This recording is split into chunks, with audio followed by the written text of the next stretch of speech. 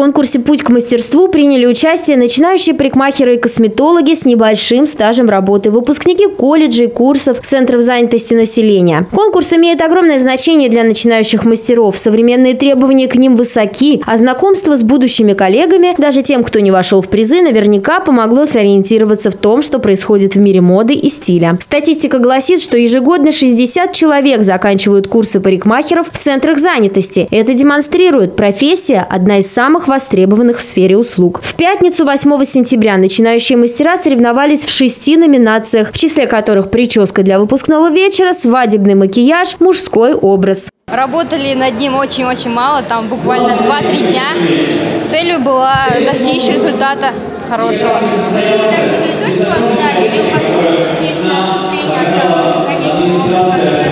а, Ну, чуть-чуть задумка, прям немножко другая была.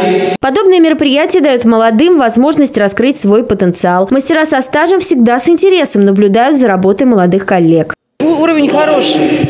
Я не могу сказать, что мне там что-то очень понравилось, но все равно то, что они не делают какие-то вот э, обычно делают там какой-то балик такой вот куценький, какие-то кудряшки лохматенькие. Они, у них уже прически с формой.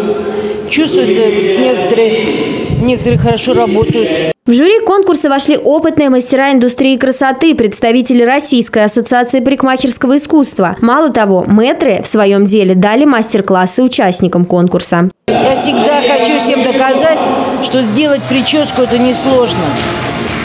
Главное правильно, грамотно подойти к ней. И можно быстро, за 10-15 минут ее сделать. Что это очень просто. Все очень боятся их. Ну, проще мастера научатся стричь и стригут. И прическам, когда длинные волосы, они сразу уходят.